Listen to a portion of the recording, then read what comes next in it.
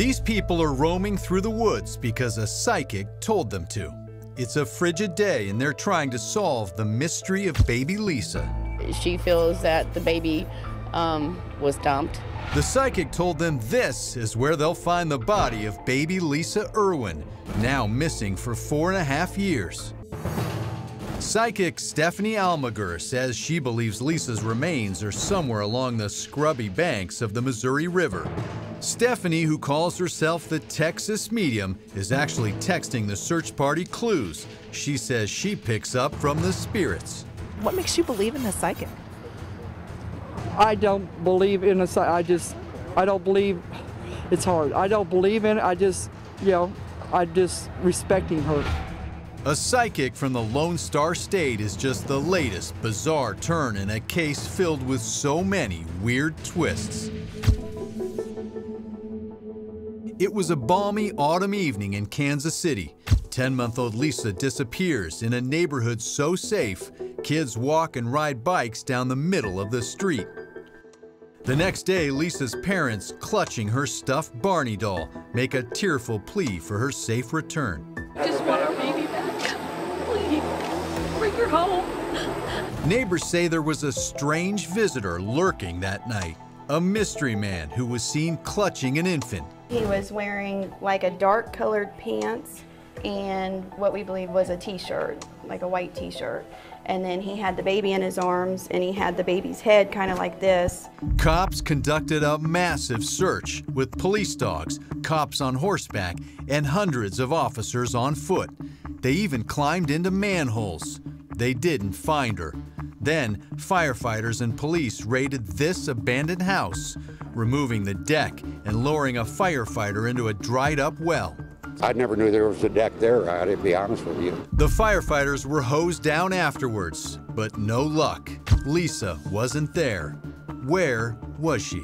She's such a good baby, and if you pick her up when she's sleeping, she'll she'll cuddle with you, and I mean she uh, she won't cry. As the search intensifies, Deborah soon finds herself under the police microscope. Crime scene investigators remove dozens of bags full of evidence from the house. In the piles of evidence, they find a receipt for this grocery store. That leads cops to the store's surveillance video showing Deborah buying paper plates, napkins, and boxed wine just hours before Lisa vanished. Deborah later admits she was drunk and may have blacked out. Three days later, Deborah and husband Jeremy clam up, saying the cops bullied them too much.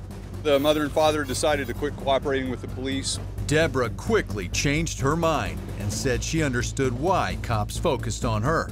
Yes, but I, it's it's their job. They they they this is what they do. They have unfortunately, and I, they they have to look to the family and, in today's world. Two weeks later, cops become more suspicious when Deborah changes her story about the last time she saw Lisa. 6:40 p.m. she now claims, not 10:30 p.m. as she originally stated. In an affidavit for the search warrant, cops say Deborah told them she didn't search behind the house because she was afraid of what she might find. Deborah says cops told her, "We think you did it." Did you harm Lisa? Absolutely not. Deborah then volunteers to take a polygraph, but she fails. They said you failed, and I shock, just like every other the thing that I found out that doesn't make sense or shock. It's not possible. Why do you think you failed? I don't think I failed. Despite the results of the lie detector, husband Jeremy doesn't believe Deborah has anything to do with Lisa's disappearance. I don't care. I told him I don't care.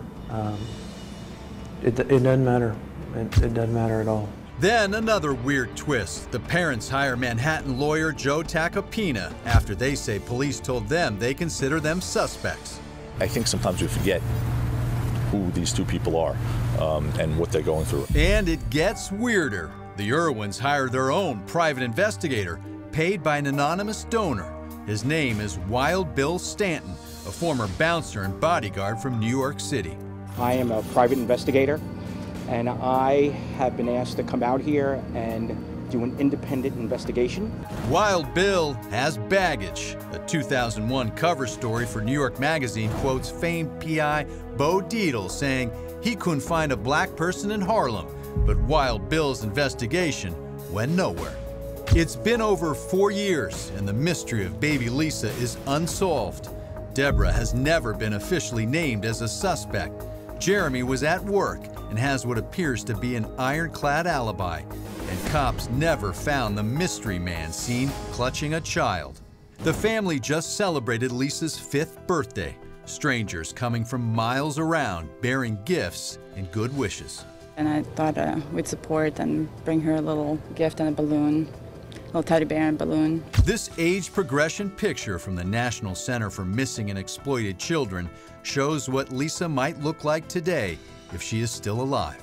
We can't even imagine what this family's going through. At numerous candlelight vigils, friends and family hold out hope baby Lisa is still alive.